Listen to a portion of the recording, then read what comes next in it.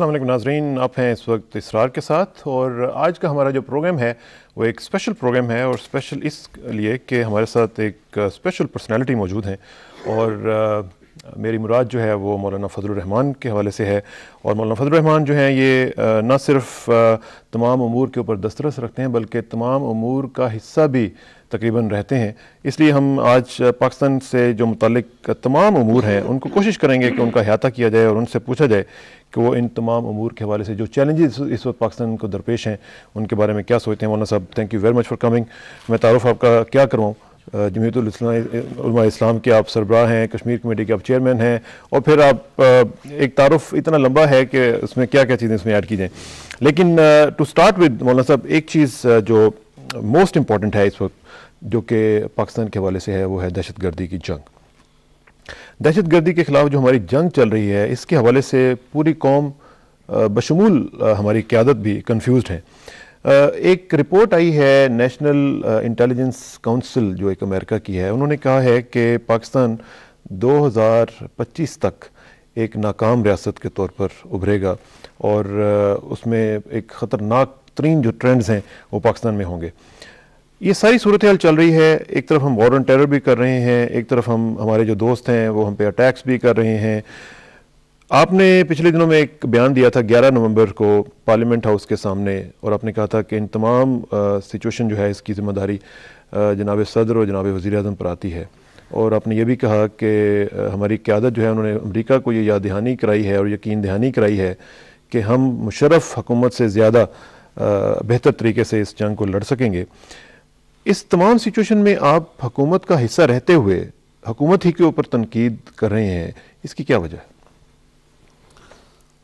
बड़ा मुश्किल सवाल आपने किया है।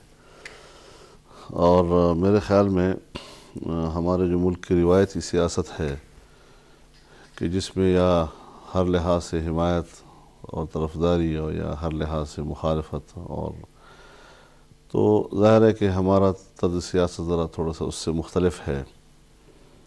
हम हिजब इख्तलाफ का किरदार अदा करते रहे हैं लेकिन उसमें हमने जो रिवायती कल्चर था अपोजिशन का उससे ज़रा हट कर अपना किरदार अदा किया ताकि हकूमती तर्ज अमल का उसके हजम के मुताबिक जवाब दिया जाए और उनको मुतवजह किया जाए उनकी कमज़ोरियों की तरफ़ और बहुत से मामलों में असलाह की तरफ़ उनको मुतवजह किया जाए। एक तामीरी किस्म की अपोजिशन और ये कि सिर्फ़ अपोजिशन का रोल अदा करने के लिए मसाइल को पेचीदा बनाने की कोशिश करने की बजाय मुल्क की मसाइल को एक अमानत समझते हुए अगर पेचीदा हो तो हल करने की कोशिश। तो मेरे ख्याल में हमने जिस अंदाज पर अपोजिशन को डाला है, आज की अपोजिशन भी तकरीबन उसी अंदाज से चल रही है और मैं समझता हूँ कि ये रोल जमातों का जो होता है एक इनकलाबी होता है जी। अगर हम हुकूमत में हैं तो फिर हुकूमत में जिस तरह एक रिवायती अंदाज है कि जी मतसराई होनी चाहिए, खुशामद होनी चाहिए, जायज़, नाजायज़, हर चीज़ की हिमायत होनी चाहिए, ये भी नहीं। ये मुल्क हम सबका है। और उसमें हमने दावत देनी है अच्छी बातों की तरफ़। और कोई अगर कमज़ोरी बुराई है तो उससे हुकूमत को भी रोकना है, क्योंकि जो लोग एक किश्ती में सवार होते हैं, और उनका कोई तर्ज अमल जो है, वो किश्ती के तह को, में सुराख का कबायस बनता है तो वहाँ अगर आप उसका हाथ नहीं रोकेंगे तो सब गर्क होंगे उससे जो। तो इस हवाले से एक नुक़ नज़र हमेशा हमारा रहता है। और आप जानते हैं जी कि जहाँ तक पाकिस्तान की खारजा पॉलिसी का ताल्लुक़ है तो खारजा पॉलिसी पर हमारा अपना एक मुस्तकिल मौक़ रहा है हमेशा। और जो ख़त्े में आज मुश्किल हैं, पूरे ख़त्े को, और ख़ास तौर पर पाकिस्तान और अफ़गानिस्तान, जिस सूरत हाल की वजह से जल रहे हैं और खून में नहा रहे हैं। इस सारे सूरत हाल से हम कैसे निकल सकते हैं? इसका माजी का पस मंज़र क्या है? तो ज़ाहिर है जी कि पाकिस्तान का एक बड़ा अहम मकाम है पूरी इस्लामी दुनिया के अंदर।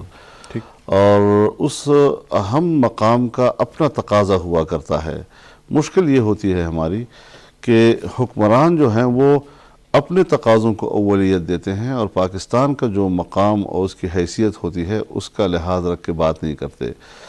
जनरल मुशरफ साहब ने एक टेलीफोन पर मुल्क की खारजा पॉलिसी तब्दील कर दी। भला क्या ये प्रोसेस है कि पूरे मुल्क की खारजा पॉलिसी और सोलह करोड़ आवाम की मुस्तबिल और किस्मत को आप तब्दील कर रहे हैं और एक टेलीफोन पर? तो आज तक वो एक सवालिया निशान है, उस पर कौम को हम मुतमिन नहीं कर सकें।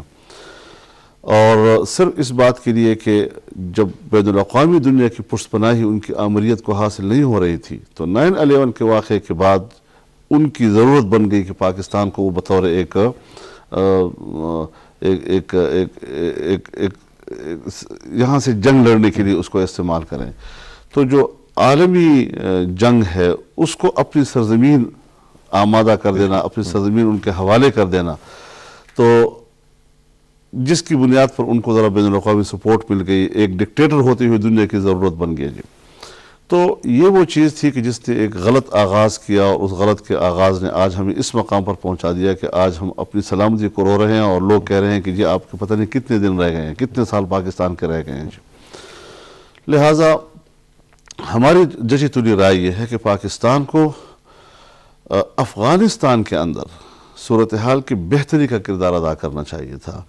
आज सऊदी अरब और पता नहीं कौन और कौन जरगे बन रहे हैं तालिबान और अफगान हुकूमत के दरमियान मुजाकर की बातें हो रही हैं। मैं मैं इस पर अफ़गानिस्तान पे आता हूँ लेकिन मुझे सिर्फ़ एक चीज़ ज़रा थोड़ा सा दहशत गर्दी के खिलाफ हमारी जो जंग है इसकी जो डायनामिक्स हैं मौलाना साहब क्योंकि आप उस सूबे में से जीते भी हैं बन्नू से आप इस दफ़ा जीते हैं वहाँ पे जो हालात हैं बन्नू पे अटैक होता है हमारे सेटल्ड एरियाज़ में अटैक होता है आपके इलाके में अटैक होता है तो हमारे पास क्या चॉइसेस क्या हैं? दहशत गर्दी के ख़िलाफ़ जंग में फिर इस हकूमत को सिर्फ़ आप अगर आप कहेंगे कि यही रिस्पॉन्सिबल है या इस सारी सिचुएशन की ज़िम्मेदारी इस हकूमत पर आती है तो क्या आप समझते हैं ये करीन क्यास है? ये ये जस्टिफाइबल बात है? देखिए ज़ाहिर जो भी हुकूमत करता है मुल्क पर जो गुजरती है उसकी आ, उससे बड़ी ज़िम्मा तो नहीं हो सकता। किसी न किसी दर्जे में उसकी ज़िम्मेदारी तो बनती है। हमला चाहे वो वज़ीरस्तान में हो, चाहे बाजवड़ में हो, चाहे बन्नू में हो, चाहे पेशावर में हो, चाहे इस्लामाबाद में हो, एक ही सरजमीन है और एक ही हरमत है उसकी। लिहाजा ये सोचना चाहिए हमें कि अगर वो कबायली इलाकों से सेटल एरिया में आ सकते हैं तो वो फिर इस्लामाबाद की तरफ़ भी आकर बढ़ सकते हैं और कहीं पर भी। कि साहब, यहाँ पर ख़तरनाक अंसर मौजूद था और हमने उस पर अटैक किया और ये हमारा हक़ है। तो इस तरीके से तो पाकिस्तान की फिर सालमियत नहीं रहती। पाकिस्तान की खुद मुख्तारी कहाँ चली गई? पाकिस्तान की आज़ादी कहाँ चली गई? उसकी सरजमीन की हरमत कहीं कहाँ चली गई? तो ज़ाहिर है कि हम सब लोग उसके ज़िम्मेदार हैं, लेकिन जिनके हाथ में इकतदार है, जिनके हाथ में फैसले की क़वत है, वो ज़्यादा आवाम के सामने जवाबदेह नज़र आते हैं। लेकिन ताहम मैं इस बात की ज़रा मज़ीद वजाहत करना चाहूँगा कि एक दबाव रहा है अवामी हलकों की तरफ़ से और बिल आखिर यहाँ पर यह मामला पार्लियामेंट में चला गया और पार्लियामेंट में इस पर खुली डिबेट हुई और बिल आखिर एक करारदाद आई और करारदाद के नतीजे में आज इस वक्त एक कौमी सलामती कमेटी तश्कील पा चुकी है जो अब एक नई आज़ाद खारजा पॉलिसी के तस्वर के साथ पॉलिसी तश्कील देना और ये जो दहशत गर्दी के खिलाफ नाम नहाद जंग का एक तस्वर है, इसकी एक नई हमत अमली तश्कील देना। इस पर शुरुआत हो चुकी है। और ज़ाहिर है जी, हम पहले से इस बात का इदराक रखते थे कि जिस वक्त हम अपनी खारजा पॉलिसी की सिम तब्दील करेंगे या वॉर एंड टेरर के हवाले से पिछली पॉलिसियों को नाकाम कहकर उस पर नजरसानी की बात करेंगे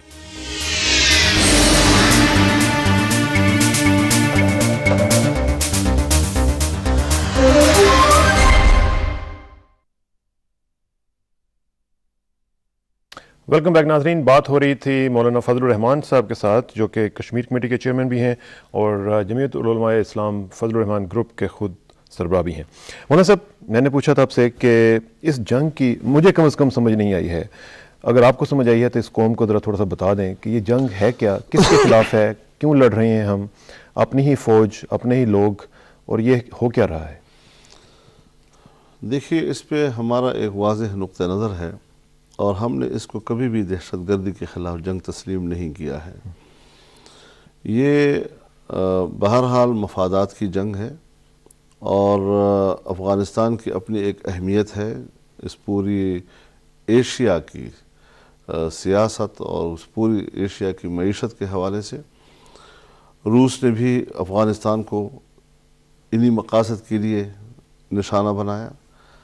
अमेरिका ने भी और मगरबी दुनिया ने भी अफ़गान जिहाद को इसी बुनियाद पर सपोर्ट किया था और इतनी बड़ी सपोर्ट दी थी कि वो किसी कीमत पर भी अफ़गानिस्तान में रूस की मौजूदगी बर्दाश्त नहीं कर सकता था। और आज उसने ख़ुद उसी अफ़गानिस्तान को अपनी आमाजगाह बनाया है ताकि ख़त्े में अपने मुस्तबिल को महफूज बना सके सियासी बारादस्ती के हवाले से। यहाँ की मीशत पर और यहाँ के इकतसाद को कंट्रोल यहाँ के वसाइल पर अपने कंट्रोल यहाँ की तजारत पर अपने कंट्रोल तो ये सारे वो अहदाफ हैं जिसके लिए वो आ, वो वो एक अस्करी मुहिम जुई कर रहा है मफादात और वसाइल तक बरह रास्त रसाई हासिल तो क्या हमारी जो लीडरशिप है उसको इस चीज़ का इदराक नहीं है? आ, उनको इस चीज़ का इदराक है लेकिन उन्होंने जो पॉलिसी बनाई है वो दबाव और खौफ के अंदर बनाई है।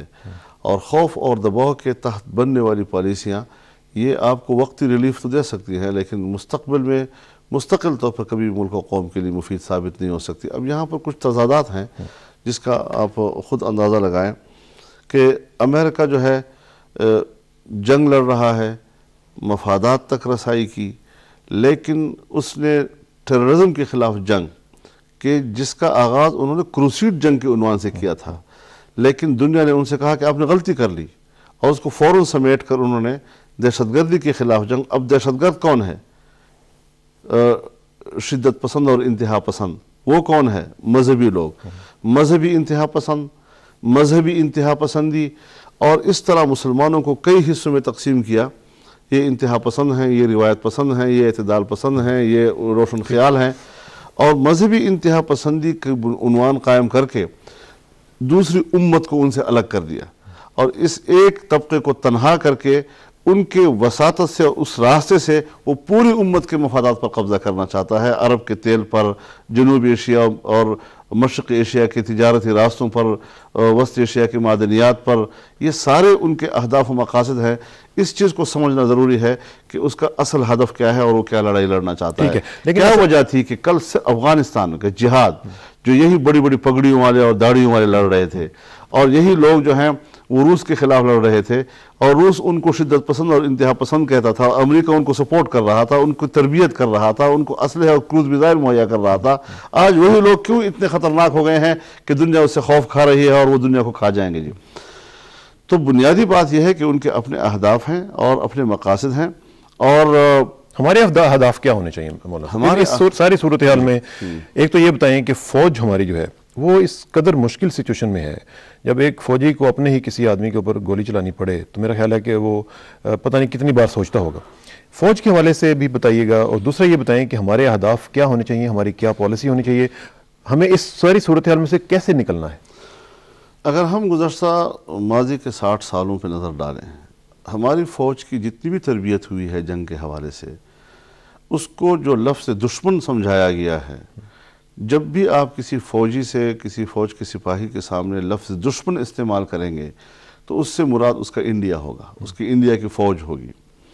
आज सूरत हाल ऐसी बदल गई है कि हमारे मशरक़ी सरहदात को तो ठंडा कर दिया गया है, और मगरबी सरहद जो हमेशा ठंडी रही है, और जहाँ पर उसकी हिफाजत हमारे कबाइल करते रहे हैं, आज उस सरहद को गर्म कर दिया गया है वो फ़ौज जो कभी भी हमारे सेटल एरिया से आगे नहीं गई। आज उसने पूरे कबाली इलाकों को भर दिया है फ़ौज से और सरहदात तक पहुँच गए हैं और अपनी कौम से वो लड़ रहे हैं। तो ज़ाहिर है, उस वक्त जब गोली चलती थी तो कम अज़ कम एक सिपाही के जहन में यह था कि मैं एक दुश्मन को मार रहा हूँ, मैं हिंदुस्तान को मार रहा हूँ, मैं उसके हिंदू को मार रहा हूँ। लेकिन अब जो है, अपनी कौम पे गोली, अपने मुसलमान पे गोली, अपने भाई पे गोली और अपने मुल्क के अंदर एक खलफशार। तो ज़ाहिर है जी कि कौमों को कमज़ोर करना, उसकी तरक्की की रफ्तार को रोकना, ये भी बड़ी क़वतों के एक अहदाफ हैं कि तरक्की पजीर ममालिक को जो है उसको आगे न बढ़ने दिया जाए, उनको दाखिली खफशार से दो चार किया जाए। आज अगर सी आई ए की पॉलिसी आप देखें तो उसकी पॉलिसी भी यही है कि वो पाकिस्तान के, अगर अवाम ने मंतखब हुकूमत बना दी, उसको कमज़ोर पिच पे लाना और उसको मुल्क की मीशत को आई एम एफ़ के कब्ज़े में ले जाना। इंतहाई मुनाफे बख्श जो हमारे इदारे हैं उनकी निजकारी कराना बिजली और खुराक की कमी जिसके नतीजे में एक माश महँगाई का बहरान मुल्क में बर्पा करना आवाम के अंदर मायूसी इस हद तक चली जाना कि लोग आपस में लड़ पड़े और एक हुकूमत और आवाम आपस में लड़ पड़े। तो इस तरीके से मुल्क को ऐसे हालात से दो चार करना ये बज़ाहिर यही है कि आज हमारे कबायली बेल्ट पर तमाम सूरत हाल में सियाही बरह रास्त मुलवस है। और वो हमारे मुल्क की सियासत को अपने कंट्रोल में लेना चाहता है। तो ज़ाहिर है कि इस हवाले से हमें अपनी खुद खुद अपने पाँव पे खड़ा होना होगा अपनी सूरत हाल को खुद देखना होगा अगर हम अपनी बका की भीख मांगते रहेंगे लोगों से तो हम ज़ाहिर है कि अपने मुस्तकबिल को आप भीख का जब लफ्ज़ इस्तेमाल कर रहे हैं तो आप आईएमएफ की तरफ़ इशारा कर रहे हैं कि हमें आईएमएफ की तरफ़ नहीं जाना चाहिए था। क्या? और जब भीख का लफ्ज़ इस्तेमाल कर रहे हैं तो क्या आप ये कह रहे हैं कि हमें आईएमएफ की तरफ़ नहीं, नहीं जाना मैं तो सिर्फ़ आईएमएफ आईएमएफ तो एक इदारा है। जब आप अपनी मीशत को उससे वाबस्ता कर लेते हैं तो ज़ाहिर है कि उन्होंने फिर अपने शराय पर अपने आप को आपसे वाबस्ता करना है। उसी के एजेंडा, अमेरिका का एजेंडा है कि आईएमएफ से वाबस्ता हो जाओ। आईएमएफ का एजेंडा है कि निजकारी करो और मीशत को हमारे हवाले करो। तो ज़ाहिर है कि आज आपकी ये हालत हो गई है कि आपके पास पाँच छः हफ़्ते के बाद आपको तनख्वाह देने के पैसे नहीं है जी। और आप कह रहे हैं जी कलीलमियाद पॉलिसी के तहत हमने रुजू किया है आईएमएफ से, वरना हम फौरी तौर पर इस मुश्किल से नहीं निकल सकते जी। ये सारी चीज़ें अपनी जगह पर नापसंदीदा, ना गैर मकबूल किस्म के फैसले हैं। लेकिन हमें इसको दूरस हवाले से भी देखना होगा कि ये ये फैसले में कहाँ ले, लेके जाएँगे जी। तो ये सारी चीज़ें वो हैं कि जब तक हम बैठते नहीं हैं इन चीज़ों पर और हम अपने खुद मुख्तारी और अपने आज़ादी के एहसास के साथ खारजा पॉलिसी तय नहीं करते तो ज़ाहिर है कि हम फिर इनके रहम करम सब ये ये इनके रहम करम की भी बातें हो रही हैं और ये सब कुछ दहशत गर्दी के ख़िलाफ़ जंग और सब कुछ हो रहा है और आप हुकूमत का भी हिस्सा हैं। और साथ साथ आप जॉइंट रेजोल्यूशन के भी सिग्नेटरी हैं और जॉइंट रेजोल्यूशन में ये साफ़ तौर पर कहा गया था कि ये जो जंग है इसमें हमारी जो सॉवरेंटी है, इसके ऊपर हम कोई कॉम्प्रोमाइज़ नहीं करेंगे। और हम देखते हैं कि अमेरिकन एम्बेसडर को दफ्तर खारजा बुलाया जाता है, वो आती हैं, उनके सामने एहतजाज किया जाता है वेरी नेक्स्ट डे एक और अटैक हो जाता है। जॉइंट रेजोल्यूशन पास होती है, उसके दो घंटे के बाद एक और अटैक हो जाता है। क्या किया जाए? आ, आप हुकूमत का हिस्सा हैं आप बताइए कि इस सिचुएशन में पाकिस्तानी कौम को क्या जवाब दें आ, मैं हुकूमत का हिस्सा हूँ लेकिन अपनी तरजीहत तक। कि मैंने जिस तरजीहत के दायरे में हुकूमत में शमूलियत की है मैं उस हद तक उसके लिए जवाबदेह भी हूँ। और पूरी गवर्नमेंट में मेरा ये प्रेशर रहेगा उनके ऊपर कि वो अपने कबले को सीधा करें। कहाँ तक हम कामयाब होते हैं, लेकिन सारे कोशिश करना हमारी साई है, कामयाबी, नाकामी अल्लाह के हाथ में है। मैं आपको एक बात बड़ी वजाहत से कह दूँ पूरी कौम के सामने मैं एक बात कहना चाहता हूँ कि इस वक्त जो कुछ हो रहा है, हम, हमने नेशनल सिक्योरिटी कमेटी भी बना दी है। हम उसमें बैठे हुए हैं, कोशिश कर रहे हैं कि हम अपनी खारजा पॉलिसी की सिमत को तब्दील करें। उसमें तमाम पार्टियों के आशीर्वाद हमें हासिल है। मैं ये भी नहीं कह सकता कि हुकूमती पार्टी जो है बड़ी पार्टी या पीपल्स पार्टी जो है वो इससे कोई हटकर सोच रही होगी जिस जिस तरह हम सारे बैठ कर कई मीटिंग कामयाबी के साथ कर चुके हैं और इस सूरत हाल को हम मज़ीद आगे बढ़ाना चाहते हैं। अभी हम इसमें लाना चाहते हैं वजारत खारजा को भी वजारत दिफा को भी वजारत दाखिला को भी आई एस आई को भी जो आइंदा इजलास होगा। ताकि हम तमाम इदारे जो इस इस इस पॉलिसी से और इस हालात से से, से वाबस्ता हैं इनकी हम एक मुश्तर लाइन हम बना सकें तो ज़ाहिर है कि जो रोज़ रोज़ बरोज़ वाक़ात हो रहे हैं अभी तो मेरे पास भी इसकी कोई तावील नहीं है हम्म। इसकी कोई वजाहत नहीं है कौम के लिए इतमान की कोई बात नहीं है मेरे लिए ख़ुद बायस तशवीश है मेरे नज़दीक ख़ुद ये एक सवाल है जो जिसका जवाब मुझे तलाश आपने कल एक बयान दिया था कि अगर हमारी तरजीहत के ऊपर काम ना हुआ हाँ। हम गवर्नमेंट से निकल भी सकते हैं। ये अभी आने के लिए इसको अभी फ़िलहाल आने वाले दिनों पे छोड़ दें फ़िलहाल इस सवाल को। ये ये ये, ये सारे अहतमाल लेकिन क्या ये आपकी तरजीहत में नहीं है कि इस तरह की जंग जो है उसको रोल बैक किया जाए और अपने हिसाब से जो भी हम अपनी सॉवरेंटी के मुताबिक उसको कायम रखते हुए जो भी जंग है वो यही हमारी तरजीह है ना। हुकूमत से जाना कोई मुश्किल बात नहीं है जी। वो तो एक चुटकी में एक फैसला होगा, हम उधर बैठ जाएँगे। लेकिन जो इश्यूज़ हमारे सामने हैं, जिस पर हमने पंजे डाले हुए हैं और जिस पर हमने काम करना है तो जिस, जो पोजीशन हमने ली हुई है, अभी उस पर हमने इस्तकामत के साथ चलना है आगे। इन तमाम तर दुशारियों इन तमाम तर सवाल इस तमाम तर प्रेशर जो अपोजिशन की तरफ़ से भी है मीडिया की तरफ़ से भी है आवाम की तरफ़ से भी है, और मैं खुद भी उस प्रेशर का हिस्सा हूँ, हुकूमत में रहते हुए। तो इन तमाम चीज़ों को लेकर हमने एक जगह तक पहुँचना है और फिर फैसला करना है कि हम बिल्कुल बॉटम तक पहुँच गए हैं और आगे हम नहीं बढ़ सकते या ये कि हम आगे बढ़ सकते हैं। तो अभी तक जो हमने स्टेप्स लिए हैं, वो स्टेप हमारे आगे बढ़ रहे हैं, आगे चल रहे हैं। लिहाजा फौरी तौर पर मैं ये कह दूँ कि इन तमाम तर जो जो ड्रोन्स आ रहे हैं, हमले हो रहे हैं, ये एक दबाव है। क्योंकि अमेरिका से आदमी कोई पूछे कि गुजशत छः सालों में जो काम तुमने नहीं किया, बावजूद इसके कि तुम्हारा दावा था कि यहाँ पर गैर मुल्की जंगजू रह रहे हैं जी। पाकिस्तान के इलाके उनकी पनागाह हैं, उनकी जन्नत बने हुए हैं। लेकिन छः साल में तुमने उसके खिलाफ ये कार्रवाई नहीं की जो गुजशत दो तीन महीनों में आप आप करते चले आ रहे हैं इसका माना यह है कि जंगजू आपका हदफ नहीं है। पाकिस्तान जो एक नई खारजा पॉलिसी की तरफ़ बढ़ने की शुरुआत कर रहा है आप उसको डिस्टर्ब करना चाहते हैं। लेकिन तो, आपने सी का ज़िक्र किया था खारजा पॉलिसी की जब आपने बात की थी तो आपने सी का ज़िक्र किया अब आप कह रहे हैं कि वो डिस्टर्ब भी साथ करना चाहते हैं और असल उनके हदाफ कुछ और हैं। लेकिन मौलाना साहब एक और आज जो खबर छपी है वो भी ये है कि एक नक्शा जो पाकिस्तान के मुताबिक दिया गया है बड़ा ही अजीब तरह का जिसमें पाकिस्तान को खुदा न खास्ता खाकम बदहन टूटता हुआ दिखाया गया है और वो भी उनका एक टारगेट है। लेकिन इस सारी सूरत हाल में सवाल ये उठता है कि हमारी क्यादत बशमूल आपके, क्या कर रही है हमारी कौम को जगाने के लिए? हमारी क्यादत जो सियासी क्यादत है, अस्करी क्यादत है, दूसरी क्यादतें हैं, उनको बताने के लिए कि जनाब हम क्या कर रहे हैं, हमें अपनी पॉलिसीज़ को सर नो तरतीब देना होगा। आपका इस हवाले से क्या रोल है? देखिए, इसमें भी आपका सवाल बिल्कुल वजह है कि हमारे लिए दुनिया में नक्शे आ रहे हैं। अरब को तकसीम किया हुआ, सऊदी अरब को तकसीम किया हुआ, पाकिस्तान को तकसीम किया हुआ, अफ़गानिस्तान को तकसीम किया हुआ। ये तो जैसे उनका, उनके उनके जो जहन में एक खाका है, एक तस्वुर है आने वाले मुस्तबिल का। क्यों? मैं आपको एक बात की निशानदेही कर दूँ कि जिस वक्त सोवियत यूनियन टूटा तो अमरीकी क़्यादत ने यह कहा कि तीसरी दुनिया की जोग्राफियाई हदूद हतमी नहीं है।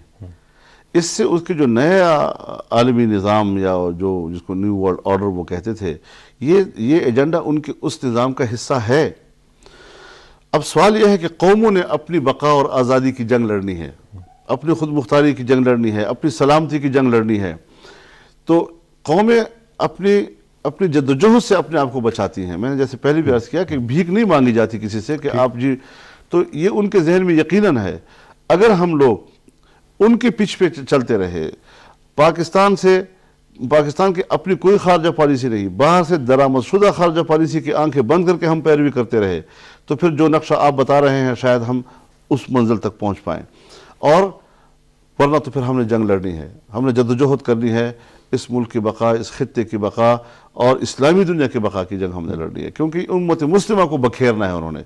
चाहे इराक के अंदर तकसीम की बात हो, चाहे अफ़गानिस्तान के अंदर तकसीम की बात हो, चाहे सऊदी अरब के अंदर तकसीम की बात हो, चाहे पाकिस्तान के अंदर तकसीम की बात हो, हमने इस तस्वुर का मुकाबला करना है। और इसके लिए हम बार बार कह रहे हैं कि ये जंग उम्मत मुस्लिमा के ख़िलाफ़ है उम्मत मुस्लिमा के वजूद के ख़िलाफ़ है यहाँ ज़रूरत उम्मत मुस्लिमा की वहादत की है। तो ज़ाहिर है उस पर हम एक आवाज़ हैं और अपनी आवाज़ और सदा लगाते रहेंगे तो पर। क्या आपकी जो सदा है उसमें बाकी जमातें जो दीनी जमातें हैं खासतौर पर वो आपके साथ शरीक हैं? क्या उनको साथ मिला के आप कोई एंटी वॉर मूवमेंट चलाने का कोई इरादा जमातें इस नज़रिए पर तो मुतफ़ हैं। उनके दरमियान कोई इख्तलाफ नहीं है। आज भी आप देख रहे हैं हम जिस मीटिंग में बैठते हैं जमात इस्लामी अपोजिशन की तरफ़ से हम गो लेकिन हमारी इस मामले पर राय एक होती है जो। लेकिन हम ने जो तरजीहत तय की थी कि बैन अवी अवामिल जो हैं, वो ज़्यादा असरानंदाज हैं हमारे मुल्क की दाखिली सियासत पर। और बैन अवी अवामिल को सामने रख कर हमें अपने सियासी फैसले और सियासी पॉलिसियाँ करनी चाहिए। बदकस्मती से मुझे दुख के साथ कहना पड़ता है कि हम बड़े दाखिली और बड़े छोटे छोटे मामला पर बिखर गए जी। तो ये ये ये कुछ नापसंदीदा फैसले जो माजी में हुए हैं हमारे अपने दोस्तों के जिसकी वजह से हम वो वहदत बरकरार ना रख सके। लेकिन ताहम बहरहाल एक उनवान मौजूद है मुतहदा मजलिस अमल का और हम एक उम्मीद वाबस्ता किए हुए हैं आने वाले मुस्तबिल में फिर एक वहदत की तरफ़ जाने का। तो एज ऑफ़ टुडे अभी आज के दिन तक का जो स्टेटस है एम का आप समझते हैं कि वो सिर्फ़ एक कागज़ी हद तक मौजूद है लेकिन प्रैक्टिकली उसका कोई असर प्रैक्टिकली उसका असर बहुत कम हो गया है। लेकिन चूँकि एक उनवान मौजूद है ज़िंदा है इसको दोबारा बहाल किया जा सकता है उसके अच्छा अच्छा साहब एक चीज़ मुझे बताएँ कि पिछले दिनों में ओबामा साहब अमेरिका में जीत गए हैं इलेक्शन और लोग बड़ी ही पूरी दुनिया में उम्मीदें लगा के बैठ गए हैं कि ओबामा के आने के बाद हालात जो हैं वो कुछ बेहतर हो जाएँगे बल्कि हमारी क्यादत ने भी कहा कि ओबामा साहब के आने के बाद हालात में कुछ तब्दीली आएगी। आपका क्या ख्याल है कि ओबामा साहब ने जो स्टेटमेंट दी थी कश्मीर के हवाले से भी, और ओवरऑल भी अगर आप देखें तो क्या कोई चेंज आपको आती हुई नज़र आती है वॉर ऑन टेरर के हवाले से और कश्मीर के हवाले से? ज़ाहिर है जी कि ओबामा ने जो इलेक्शन लड़ा है, उसका जो सबसे बड़ा स्लोगन था, वो चेंज का था जी। यानी तब्दीली सबसे बड़ा उनवान था, उसकी पूरी इंतबी मुहिम का। लेकिन थोड़ा हमें ज़रा एक एक चीज़ को पॉइंट आउट करना है कि चेंज के क्या माने जी। चेंज का एक माना ये भी है कि वाइट से ब्लैक प्रेसिडेंट आ गया। वाइट हाउस में एक ब्लैक प्रेसिडेंट चला गया। तब्दीली ये भी है कि इराक से फौजी निकालने का फैसला किया है उसने। तब्दीली ये भी है कि अफ़गानिस्तान में चालीस हज़ार अमरीकी फ़ौज है तो दो लाख अमरीकी फ़ौज का मज़ीद इजाफा यहाँ कर दिया जाएगा। तब्दीली ये भी है कि वो मसले कश्मीर के हल की बात करता है। ये सब ओबामा के हवाले से एक तब्दीली के तहत आते हैं जी। ठीक। अब इस हवाले से हमने सोचना है एज अ पाकिस्तानी इस खत्े के फ़र्द की हैसियत में जी कि इराक से फ़ौजें निकालना उस पर दुनिया का तजिया क्या है? यही है कि इराक में वो शिकस्त खा चुका है अपने अमरीकी अवाम को वो मुतमिन नहीं कर सका उनकी तइद हासिल नहीं कर सका। अफ़गानिस्तान में वो दाखिल होना चाहता है यहाँ जो पूरे खत्े से जो अफ़गानिस्तान के हवाले से उनके मफादात वाबस्ता है इंक्लूड इराक अरब का तेल तो उस जगह पर वो फोकस करना चाहते हैं कि बस सिर्फ़ अफ़गानिस्तान के अंदर और क़वत इतनी बढ़ा दो कि फिर जो जंग होगी और हर तरफ़ अमरीकी फ़ौजी लड़ेंगे और पाकिस्तान के अंदर भी लड़ेंगे तो ये तो फिर एक बहुत ही ख़तरनाक शक्ल में आ, शायद दो तीन महीने के बाद हमारे पास सूरत हाल तब्दील हो जाए। अगर हम कश्मीर के अंदर तब्दीली की बात करते हैं तो ख़ुद अमरीकी दानश्वरों ने यह कहा है कि हम पाकिस्तान फ़ौज को एक बहुत बड़ी पुलिस फोर्स में तब्दील कर देंगे यानी जब ये मसला हल हो जाएगा तो एटमी सलाहियत रखना नाजायज हो जाएगा। दाखिली मामला तक कोई कोई, कोई रोल पाकिस्तान के अंदर फिर फौज का बाकी नहीं रहेगा और उसको हैसियत एक आम पुलिस की बन जाएगी। ये उनके दानश्वरों के अल्फाज है जो कहते हैं जी। तो ये सारी चीज़ों में हमें ये ढूंढना होगा कि फिर उसके चेंज का माना क्या है। उसका मफहूम क्या है? लिहाजा ऐसी कोई खैर की उम्मीद रखना, ये बड़ी लो प्रोफ़ाइल पर है। खैर की उम्मीद बहुत थोड़ी, रिमक। और ख़तरा जो है, और उसका जो जो जो मनफी पहलू है, काला पहलू है, वो बहुत भारी और वसी है।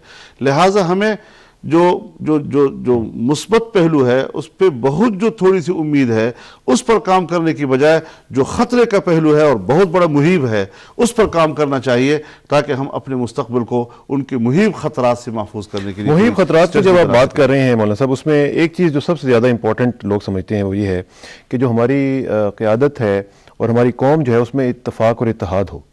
और हम देखते हैं कि वो उसकी ज़रा कमी है हमारी क़्यादत में भी और कौम में भी। फॉर एग्ज़ाम्पल आपके ही सूबे में जो सूबा सरहद है, उसमें जो हकूमत है, उसके आपके साथ ताल्लुक जो हैं वो कोई इतने अच्छे नहीं हैं। पिछले दिनों में उनकी क्यादत की तरफ़ से आपकी ज़ात के मतलब भी और आपकी दूसरे लोगों के मतलब भी इस तरह की रिपोर्ट्स आई। तो कोई इस तरह का सिलसिला नहीं बन सकता है कि हम कम अज़ कम दाखिली सतह पर जो है, वो इंतशार से बचते हुए एक इतफाक़ और इतिहाद की सियासत कर सकें। देखिए, इस हद तक कि हम पार्लियामेंट में एक कमेटी के अंदर हैं, हमने करारदाद मिलकर पास की, हमने उसके तरीक़ा जो जो कवायद जवाब हैं, वो मिलकर तय किए, आइंदा स्ट्रेटजी के लिए हम मिलकर जा रहे हैं। और मुतजाद ख्याल कस्म की जमात हैं, लेकिन जमहूरी रवैये से एक दूसरे को गुंजाइश देते हुए हम इकट्ठे आगे बढ़ रहे हैं। जहाँ तक सुबह सरहद का ताल्लुक है, देखिए, बावजूद इसके कि मेरी जमात वहाँ पर अपोजिशन में है, लेकिन एक यकजहती और हम आहंगी के जज्बे से हमने उनके वजी अला को वोट दिया। हमने उनके स्पीकर को वोट दिया। हमने उनके डिप्टी स्पीकर को वोट दिया। जब उन्होंने कहा कि हम लोगों से मुजाकरात करके मसले का हल चाहते हैं तो हमने उसको सपोर्ट दिया। हमने उसकी हिमायत की जी। अब अगर एक हकूमत में ख़ुद ऐसी कमज़ोरी हो कि वो अपने अल्फाज के इस्तेमाल बयान के देने में ये न महसूस करें कि इससे यकजहती को कितना नुकसान पहुँचता है तो फिर उसकी अपनी विजन की कमी है जी। तो इस हवाले से यह अच्छा हुआ कि वहाँ की जो हुक्मरान जमात है, उसकी क़्यादत ने जब गैर जिम्मेदाराना बयान दिए तो दो चार रोज़ के अंदर उनको एहसास हो गया कि हमने गलत किया है। तो उससे दोबारा रिवर्स किया और फिर बयान दिए जी कि हम यकजहती ख़राब नहीं करना चाहते और हम इस पर बात नहीं करेंगे। तो हमने कहा कि भाई हमने तो अगर कोई बात वहाँ की है या हमने पश्तूनिस्तान के पोस्टर की बात की है या तो वो तो हमने किसी भी इल्ज़ाम नहीं लगाया जी। हमने तो कहा कि ये चीज़ है। हुकूमत को मुतवजह करना ये अपोजिशन की ज़िम्मेदारी होती है। जो ग्रेटर पाकिस्तान की तो उनको तो शुक्रिया अदा करना चाहिए था कि आइए जी इस साजिश को मिलकर पकड़ते हैं जी। उन्होंने अपने ऊपर ले लिया नाराज़गी ज़ाहिर कर ली और एक तलखी से पैदा हो गई। तो अगर वो समझते हैं कि हमसे तलखी हुई है गलत हुआ है हमको दोबारा वापस लाना चाहते हैं हमें इसमें कोई इतराज़ नहीं है। वैसे जो पख्तूनिस्तान का इशू है उसके उसको साइड पर रखते हुए पख्तूनख्वा का जो नाम है उस पर भी एक खासी लैदे हो रही है आजकल उस पर आपका क्या मौक़ है? देखिए इस मसले को पर कोई बड़ा इख्तलाफ तो नहीं है इसलिए कि असम्बली की एक मुतफ़ा करारदाद है। नाम का मसला है कोई नाम किसी का रख दो। जब नाम के मसले पर हम साठ साल में एक सूबे का नाम नहीं रख सके जी और एक पश्तनख्वा के लफ्ज़ पर इतफ़ाक़ राय हो गया है, सो उस इतफ़ाक़ को सपुतार नहीं करना चाहिए। ये जो अभी इसम्बली में आपने कुछ थोड़ा बड़ा हंगामा वगैरह देखा, वो इस हवाले से नहीं था कि पश्तनख्वा तुम उसका मुतालबा क्यों कर रहे हो? बल्कि इस पर था कि जब तक आइन में तरमीम ना हो और जब तक आइनी लिहाज से उसका नाम पश्तनख्वा ना पड़े, तब तक आप उनको सरकारी दस्तावेजात पर यह लफ्ज़ ना लाएँ। तो क्या ये मुतालबा दुरुस्त है? जी? ये क्या मुतालबा दुरुस्त इसमें एक, एक वज़न है इस हद तक एक वज़न है लेकिन इसको कोई तलखी का बायस नहीं बनना चाहिए जी। कोई इतना बड़ा इशू नहीं है नाम का मसला है हो जाएगा कल और किसी वक्त भी हो जाएगा लेकिन एक जमात का आप खुद अंदाज़ा लगाएँ कि जिसकी तमाम सियासत पूरी जमात का तमाम सियासत एक नाम पर तक महदूद हो जाए और अगर ये है तो फिर वो बहुत जीत गए अगर ये नहीं है तो फिर कुछ नहीं है। तो मेरे ख्याल में ये इस हद तक भी नहीं जाना चाहिए हमें कि हम एक नाम के साथ अपनी पूरी सियासत, पूरा नज़रिया, पूरा मंशूर, पूरी हुकूमत की तमाम कामयाबी और नाकामी का दारो मदार एक नाम पर रख दें। इस हद तक भी जाने की ज़रूरत नहीं है। बड़े मोहब्बत के साथ और जिस तरह पहले इसम्बली से एक करारदाद पास हो गई, सो उसी अंदाज से कोशिशें जारी रखनी चाहिए और इसको पूरी सियासत का दारो मदार बना देना। मेरे ख्याल में इतना भी कोई बड़ा मसला नहीं है ठीक है। अच्छा आप कश्मीर कमेटी के भी चेयरमैन हैं। कश्मीर पर भी थोड़ी सी बात आपसे करनी है। आ, कश्मीर के ऊपर फिर going back to Obama statement जो ओबामा साहब ने दी थी और प्रेसिडेंट क्लिंटन जो है उनको वो बनाना चाह रहे थे एक स्पेशल ऑनवाई तो आप क्या समझते हैं कि कश्मीर के हवाले से कोई चांस आपको नज़र आता है कि कश्मीर सामने फ्रंट पे आ सके और उसके रेजोल्यूशन जो है एक हतमी नतीजा उसमें से कुछ निकलने की कोई उम्मीद आपको नज़र आती? है इसमें हम एक तो पाकिस्तान की जो सरकारी पोजीशन है जो स्टेट पोजीशन है इसकी हमारी, वो हमेशा यही रही है कि हम मसले कश्मीर के हल के लिए बैन अवी सालिसी को कबूल करने को तैयार हैं। जिसको इंडिया कबूल करने को तैयार नहीं है। और एक बात जो बार बार इंडिया दोहरा रहा है जी के बायोलेट्रल डायलॉग बाहमी मुजाकर के ज़रिए इसको हल करने वाली बात तो ये तो वो शिमला माहदे के हवाले से कर रहे हैं जी। लेकिन अगर फिर भी कोई सालिस आता है बीच में दुनिया में लोगों के झगड़े होते हैं आपस में भी तय करते हैं लेकिन न कर सके तो तीसरा भी आकर एक सालिसी कर सकता है। ये है उसूली बात। लेकिन जहाँ तक हम दुनिया के तमाम तर जो सियासी सूरत हाल है और हम जहत पहलुओं को और अमेरिका के अजायम को उनके इरादों को उनकी सोच को सामने रखते हुए जब हम ये सोचेंगे तो इस पर इंडिया और पाकिस्तान दोनों को सोचना है कि अगर हम जितना जल्दी आपस में बैठकर इस मामले को तय कर सकें, वो ज़्यादा बेहतर होगा। या अमेरिका जैसी कुत यहाँ आ जाए और फिर वो सालिसी का किरदार अदा करे, मसले के हल पर पहुँचे, वो बेहतर होगा। ज़ाहिर है जी कि मैं एक सियासी कारकुन की हैसियत से समझता हूँ कि अगर अमेरिका बीच में होगा और वो मसले के हल के लिए आएगा गो के उसूली तौर पर हम इसका इनकार नहीं कर रहे। लेकिन मेरे ज़ाती सोच यह है कि फिर इस मसले का हल अमरीकी मफादात के ताबे होगा हिंद पाक के मफादात के ताबे नहीं होगा। तो क्या इस सिलसिले में आप हुकूमत हिंद से बात करने की कोशिश करेंगे? बहसीत चेयरमैन कश्मीर कमेटी। ज़रूर करेंगे।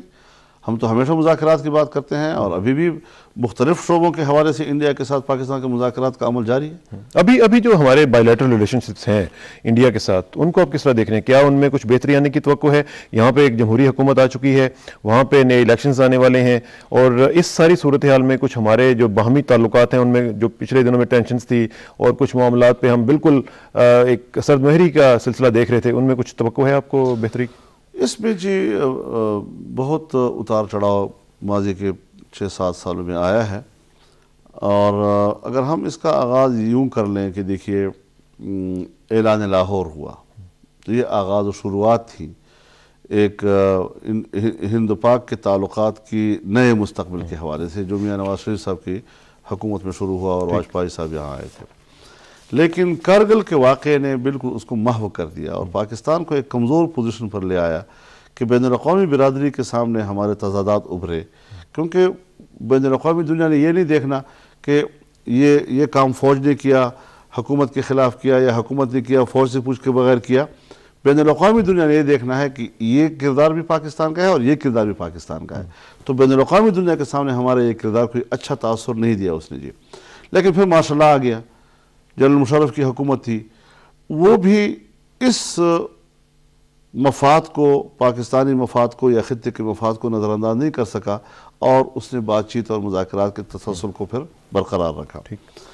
लेकिन उसमें जो थोड़ी सी जो अदम तोज़ुन आया है हमारी पॉलिसी में देखिए हमारा एक असासी मौक़ है अकवा मुतहदा की करारदादों के हवाले से हक़ खुद इरादियत के हवाले से कश्मीरियों के लिए कभी कहा जी हम इसको साइड लाइन करके एक नए मौक़ की तरफ़ जा सकते हैं। अब ज़ाहिर है जी कि एक कौमी मौक़ जो तयशुदा है, जब आप उसको साइड लाइन करते हैं और उसका मुतबादल अभी मौजूद नहीं है तो फिर ये बड़ा ख़तरनाक सूरत हाल है कि एक मौक़ आपका तहरीर हो जाए दूसरा बना नहीं, और फिर शायद बन भी ना सके। तो कश्मीर के बारे में हम एक मुस्तकिल मौक़ से महरूम होने का भी ख़तरा मोल ले रहे थे जी। फिर उसके बाद ये हुआ कि पाकिस्तान की तरफ़ से बहुत सी तजावीज़ इंडिया के पास गई, लेकिन बड़े यानी पब्लिश हो गई वो सारी सूरत हाल जी।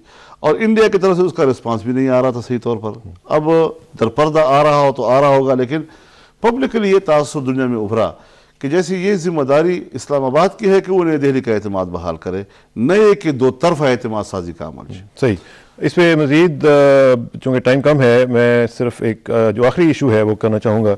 मतलब वो है जो पिछले दिनों में खासा न्यूज़ में रहा और वो था ज़मीन का मसला जो अलाट की गई बकौल अखबार के और उसमें यह भी इल्ज़ाम लगाया गया कि फ्रेंडली अपोजिशन का किरदार आपने अदा किया था 2004 में यूनिफॉर्म की मुखालफत ना करने पर और सदर मुशरफ की जो वर्दी का था मसला और सदरवीं तरमीम का मसला बारह सौ कनाल जो ज़मीन है वो इशू हुई थी। Adjutant general G H Q के जो है वेलफेयर एंड रिहेबिलिटेशन डायरेक्टरेट के तो उनके सिग्नेचर थे लेफ्टिनेंट कर्नल मोहम्मद ज़फ़र साहब के सिग्नेचर थे। काउंटर साइंड था ब्रिगेडियर ज़फ़र इकबाल शाह साहब की तरफ़ से तेईस अक्टूबर दो हज़ार चार को।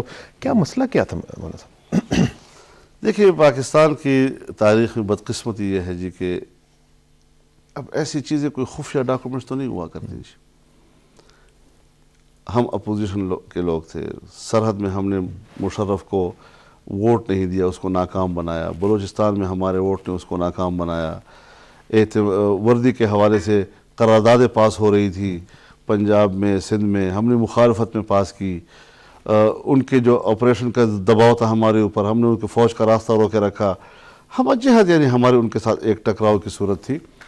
और सत्रहवीं तरमीम की जहाँ तक बात है अगर सत्रहवीं तरमीम हम ना करते तो फिर सोलहवीं तरमीम होती ना। तो सर कभी सोचा है आप लोगों ने कि अगर सत्रहवीं तरमीम ना होती तो फिर कौन सी तरमीम होती? तो सोलहवीं तरमीम होती। सोलहवीं तरमीम कौन सी तरमीम है? जो 27 अक्टूबर 2002 को कॉन्स्टिट्यूशन में छप कर मैदान मैदान में आई जी।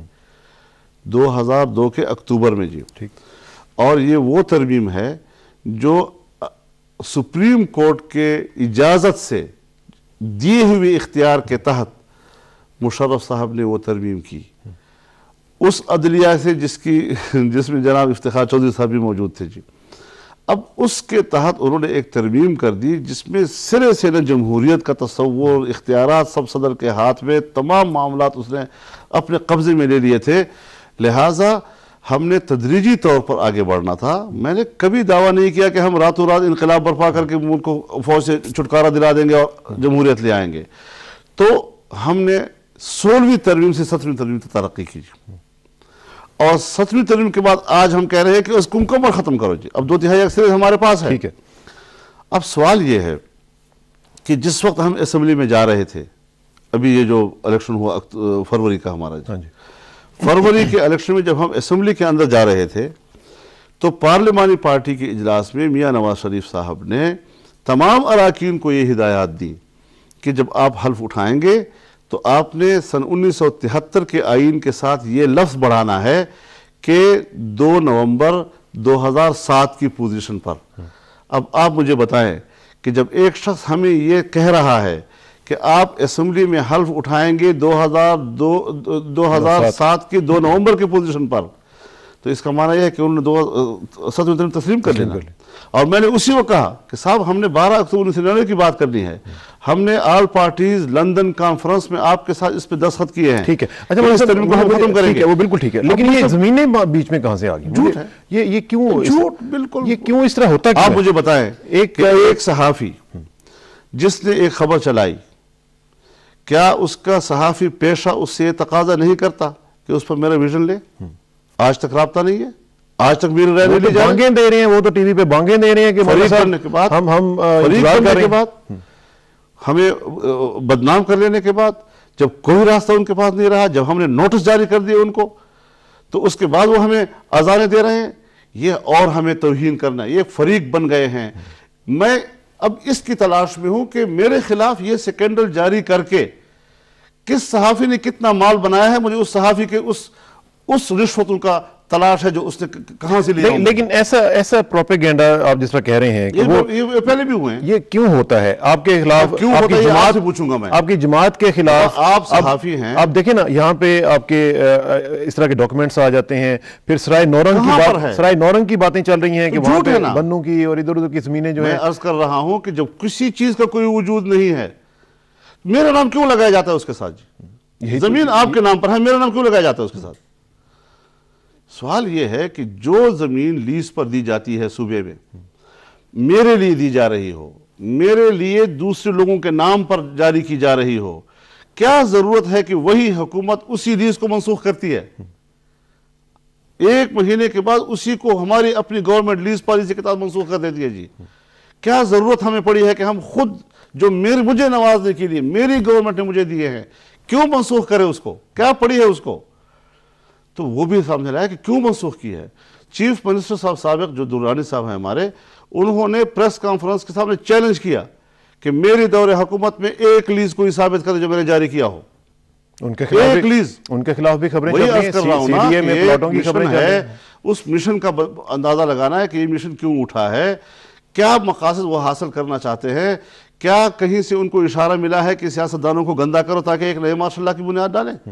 क्या इसलिए ये डाला गया है कि अगर मैंने पार्लियामेंट के अंदर अमेरिका के पॉलिसियों के खिलाफ और सबका हुकूमत की पॉलिसियों के खिलाफ एक तकरीर कर दिया और मैंने पूरे पार्लियामेंट की राय तब्दील कर दी और एक करारदाद मैंने अचीव कर लिया, उससे जो हमारा एक इमेज बना है, उस इमेज को तबाह कर दिया जाए।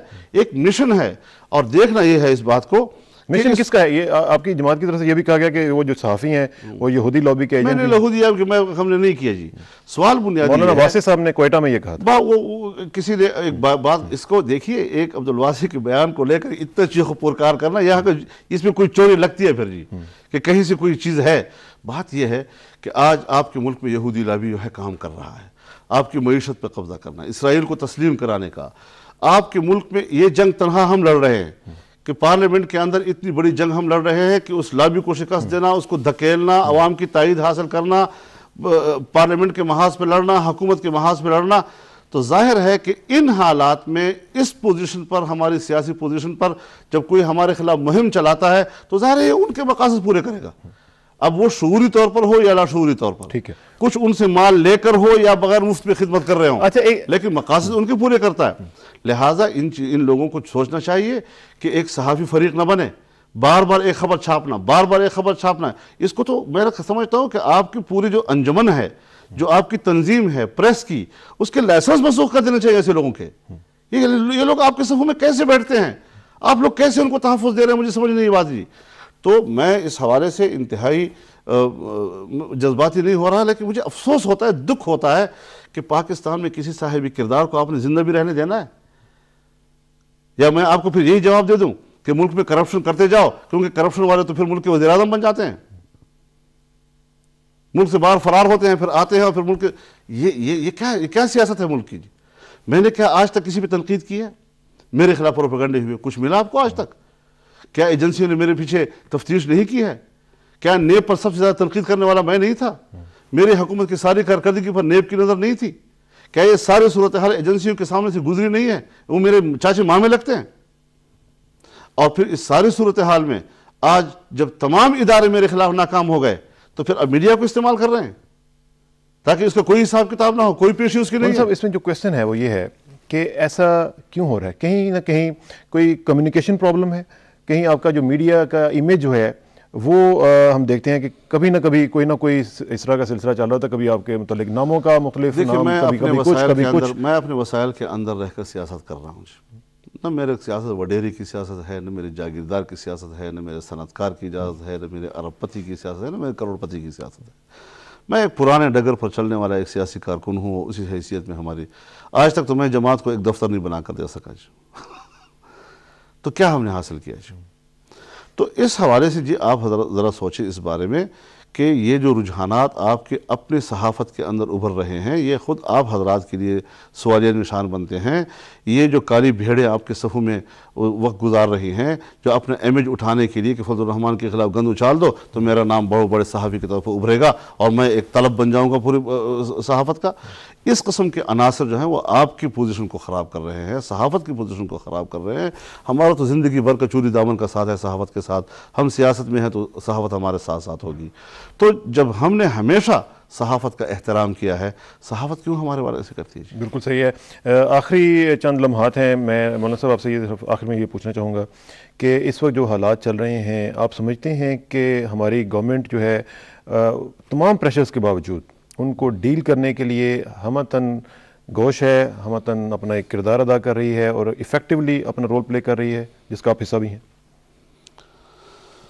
तो ज़ाहिर है जी कि अभी तक तो जो सूरत हाल जा रही है उसमें ज़ाहिर है जी कि अभी इस वक्त मामला पार्लियामेंट के हवाले है। जिस तरह के तेईस जुलाई को वज़ी अजम साहब की सदारत में जो एक अली सती इजलास हुआ था और जिसमें इस आइडिया को तय किया गया था कि हमने मुजाकर के ज़रिए से और सियासी अमल के ज़रिए से मसले को हल करना है और पॉलिसी चेंज करनी है लेकिन मामला पार्लियामेंट में जाएगा। लेकिन वो जो जॉइंट रेजोल्यूशन है उसको इफ़ेक्टिव कैसे बनाया जा सकता है? उस यही बात हमारे लिए सामने काबिल गौर है। ये जो अभी गालिबा बीस तारीख को हमारी एक मीटिंग थी। वो इसी पर महदूद थी जी कि इसको कैसे मौसर बनाया जा सकता है। अब काम है हुकूमत का। इकदाम गवर्नमेंट ने करने हैं। कमेटी ने यह सफारशात देनी होती हैं या कमेटी ने उसकी निगरानी करनी है उस पर राय देनी दे, देनी होती है कि सही चल रहा है काम या गलत चल रहा है। अभी एक इजलास हुआ है दूसरा इजलास दो नौ दो दिसंबर को बुला लिया गया है जिसमें मुतल वजारतें और एजेंसियाँ जो हैं उसमें आएँगी और उस सारे सूरत हाल पर जो आजकल हो रहा है इस पर भी अब सूरत हाल को वाजह करेंगी। और उसकी सब रोशनी में हम सबने मिलकर एक कौमी जज्बे के साथ क्योंकि मैं ज़ाहिर है जी फ़ौज को एक कौमी इदारा समझता हूँ जी। ठीक। आज मुसीबत ये हो गई है जी कि अगर कोई अपनी फ़ौज की रियायत में या हक में कोई बात करता है तो उसका जो माजी करीब है जिसमें वो हुकूमत कर रहा था वही लोगों के दिमाग में आ जाता है। मैं कहता हूँ वो हुकूमत ख़त्म हो गई उसकी। अब वो फ़ौज है। बिल्कुल ठीक। जब फ़ौज है तो फिर हमें उसको तनहा नहीं करना। ये बड़ी खूबसूरत बात की है आपने कि हमारी फ़ौज जो है वो हमारी फ़ौज है और उसे हमें तनहा नहीं करना चाहिए। मौलाना साहब आपका बहुत बहुत शुक्रिया। आपने तमाम इश्यूज़ के ऊपर बड़ी ही खूबसूरत गुफ्तु की और ये जो लोगों के जहनों में सवाल थे को अपने ख़त्म करने में अपना पूरा एक किरदार अदा किया। आपका बहुत बहुत शुक्रिया। इन आपसे रब्ता रहेगा। ये थे नाजरीन, मौलाना फजलरहमान साहब जमीतुलमा इस्लाम, फजलरहमान ग्रुप के सरबराह और कश्मीर कमेटी के चेयरमैन। और पूरी तफसील से अपना नुक़ नज़र बयान कर रहे थे। आखिर में हमारी तरफ़ से दुआ कि मेरी इज़्ज़त के लिए काफ़ी है मेरे मौला, कि मैं तेरा ही बंदा हूँ। और मेरे फ़ख्र के लिए काफ़ी है कि तू ही मेरा परवरदिगार है। तो बिल्कुल उसी तरह है जिस तरह मैं चाहता हूँ। मुझे भी उसी तरह बना दे जिस तरह तू चाहता है। गुरदम बतोमाए पेशवा। तूदानी हिसाब कमोबेश मुझे सराकसाना को बुद्ध तक के लिए इजाज़त दीजिए। बुद्ध को इंशाल्लाह मुलाकात होगी। अल्लाह हाफ़